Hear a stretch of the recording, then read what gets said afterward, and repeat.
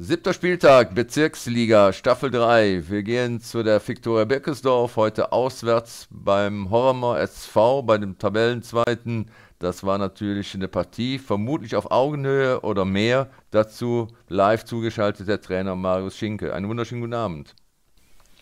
Guten Abend, Herr Jochens. Ja, letzte Woche souverän und heute hatte man natürlich eine große Aufgabe. Ich habe es gerade schon erwähnt, den Tabellenzweiten zu Hause nicht, sondern auswärts. Äh, wie haben Sie denn die ersten 45 Minuten von der Trainerbank erlebt?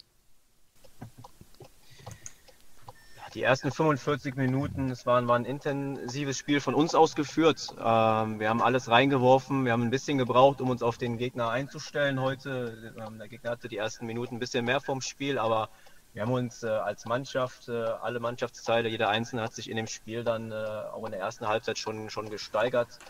Und ähm, sodass wir nachher dann äh, die, die bessere Mannschaft waren und auch äh, für mich verdiente 1 geführt haben zur Pause. Ja, Sie haben es angesprochen, Pausenführung und zwar durch den Manuel Jungas, durch den Kapitän. Letzte Woche war er nicht dabei, heute wieder voll im Saft und erfolgreich und hat die Mannschaft, sag ich mal, mit der richtigen Motivation in die Kabine gebracht. Ja, das war für uns natürlich ein super Zeitpunkt, äh, vor der Halbzeitpause noch das 1 zu 0 zu machen. Das, das nimmt man dann, dann gerne mit, äh, auch die Euphorie äh, und auch, auch den, einfach den Ertrag für die, das, was man auf dem Platz dann äh, gerade läuferisch und kämpferisch geleistet hat. Es war ein, war ein gut getretener Freischuss von Nico Colieras, passend auf den Kopf von, von Manuel, der den Ball dann, äh, ja, was auch seine Stärke ist, souverän einnickt. Ja, da hatten Sie als Trainer vielleicht nicht so, so viele Sachen anzusprechen in der Kabine oder mussten Sie nachjustieren, um die zweiten 45 Minuten genauso erfolgreich abzuschließen? Hormer SV, Tabellenzweiter, die wollten ja nicht mit leeren Händen da stehen. Wir hatten zwei, drei Punkte, nicht allzu viel. Ne? Wir, wir, mussten kämpferisch vor allem so weitermachen, wie wir uns in der ersten Halbzeit äh, da gesteigert haben. Das haben wir auch gemacht. Äh, wir haben angesprochen, dass wir ein bisschen mehr Seitenverlagerungen spielen müssen, weil wir da leider sehr, sehr rechtslastig noch waren in der ersten Halbzeit. Ähm, sowie, dass wir auch mehr Abschlussaktionen äh, setzen müssen. Da sind wir noch einen Ticken zu verspielt äh, um die gegnerische Box herum. Ähm, das haben die Jungs aber sich auch zu Herzen genommen und auch mitgenommen in, in die zweite Halbzeit und das äh, auch entsprechend umgesetzt und erfolgreich umgesetzt erfolgreich umgesetzt. Äh, die ersten 10, 15 Minuten der zweiten Halbzeit keine großen Aktionen und dann kam der nächste Schlag äh, auf ihrerseits.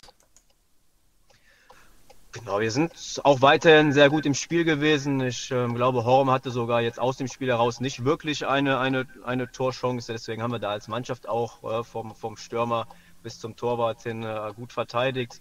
Ähm, ja, ist dann ist eine Balleroberung, ich glaube, vom Lukas Kirschbaum im Mittelfeld, äh, wo wir dann in den eigenen Spielaufbau gehen, äh, uns äh, da schnell nach vorne kombinieren. Am Ende Jonas Verona auf den Nico Colieras ähm, spielt und wir endlich auch mal aus, aus der zweiten Reihe schießen, nicht jeden Gegner ausspielen. Und ähm, ja, das, äh, da hat der Nico ja gezeigt, dass wir was können, auch aus der Distanz zu, äh, zu, zu erzielen und nicht immer, dass wir jeden Gegner ausspielen müssen.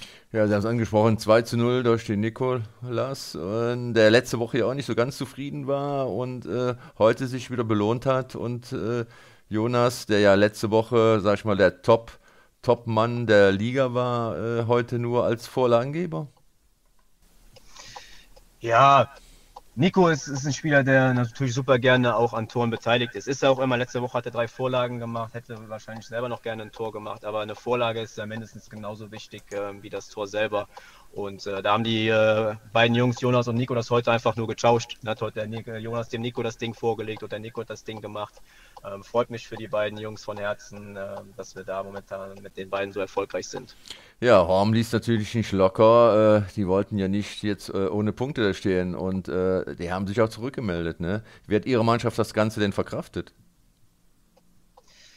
Ja, leider ist es wie gesagt ähm, nichts aus dem Spiel heraus gewesen von Horm, sondern leider auch wieder, wieder ein Umschaltmoment. Wir verlieren am gegnerischen 16er den Ball, ähm, laufen dann in eine Umschaltsituation, wo wir ja, einfach dann äh, in der Mittellinie, äh, Höhe Mittellinie den Ball gewinnen müssen oder einfach mal das taktische Foul ziehen müssen, machen wir nicht. Äh, der Gegner läuft dann in den 16er, wird vermeintlich leicht getroffen, ähm, wo es dann zu der Elfmetersituation kommt. Ähm, klar, dann hat Horm natürlich nochmal Auftrieb bekommen, aber wir haben heute den äh, Rückschlag relativ äh, gut verarbeitet. Ähm, wir hatten noch eine Situation äh, nachher, wo es nochmal einen Freischuss gab von Horem in unserem 16er, weil weil wir zu lange den Ball gehalten haben als Torwart, ähm, wo der Schiri aber auch vorher nicht angezeigt hat, spielen bitte, sondern direkt gepfiffen hat auf, auf Freistoß im 16er.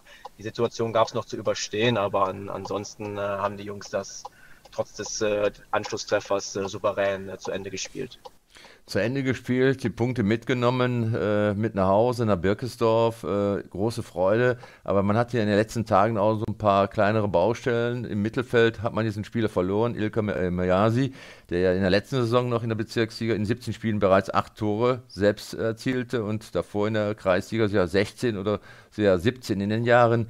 Ähm, wie schmerzlich ist so ein Verlust, so einen Spieler zu verlieren, mitten in der Saison?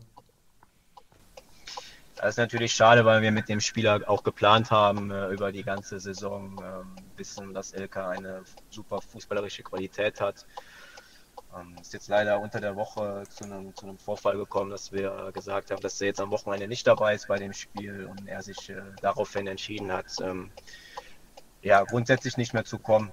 Ähm, es ist jetzt so, wie es ist, aber die Mannschaft hat heute ein tolles Spiel gemacht, ähm, eine gute Reaktion äh, auf, auf das gegeben oder sich das gar nicht anmerken lassen. Von daher, das ist schade, aber grundsätzlich haben wir noch genug Jungs, die das äh, auffangen können. Und dann können wir ja einfach mal schauen, was sich vielleicht dann bei uns noch personell ergibt im Winter. Ja, sieben Spiele, Sie haben es angesprochen. Vier gewonnen, drei verloren, 17 Tore kassiert, 19 äh, selbst geschossen. Äh, da ist also noch äh, Redebedarf, beziehungsweise im Nachhinein Arbeit auf dem Plan, um das zu verbessern. Ja, die offensive Ausbeute ist schon, schon ganz okay. Da könnte auch noch mehr gehen. Da hatten wir auch heute noch mehr Chancen. Defensiv wollten wir uns natürlich äh, deutlich stabilisieren im Vergleich zur letzten Saison. Das haben wir leider bis jetzt nicht geschafft. Ähm, heute wäre es fast so weit gewesen, dass wir mal zu Null spielen. Äh, haben wir natürlich auch wieder nicht geschafft. Da müssen wir auf jeden Fall noch an uns arbeiten, äh, damit wir auch mal knappe Spiele für uns entscheiden. Zwölf Punkte nach sieben Spielen, Platz sieben. Man ist mittendrin und wir freuen uns auf die nächsten Begegnungen der Viktoria. Vielen Dank für das heutige Gespräch, Marius Schinke. Sehr gerne, danke auch. Bis dahin.